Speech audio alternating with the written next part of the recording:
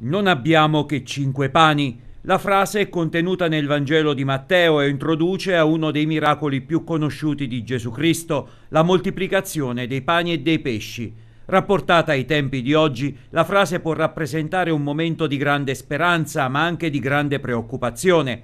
È questa una delle tematiche che la Chiesa attuale è chiamata a sviluppare e il cammino verso il convegno nazionale della Chiesa che si svolgerà a Firenze è iniziato a Montesilvano, dove le diocesi abruzzesi e molisane hanno tracciato le linee guida con la presenza del presidente della CEI, il cardinale Angelo Bagnasco. Tutti dobbiamo contribuire perché si possa superare questo momento di crisi così lunga e così pesante, soprattutto mettendo al primo posto quello che è il problema del lavoro e dell'occupazione, perché questo è il problema, come abbiamo detto tante volte, più urgente di tutti. La missione dei vescovi in questo momento quale deve essere?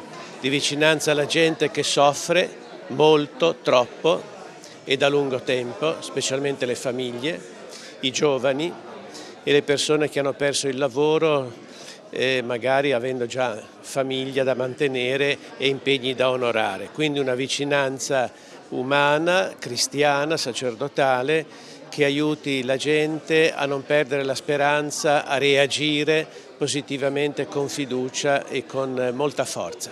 Lo stesso Bagnasco ha poi tracciato la strada che bisogna seguire e che si può sintetizzare in cinque parole uscire, annunciare, abitare, educare e trasfigurare.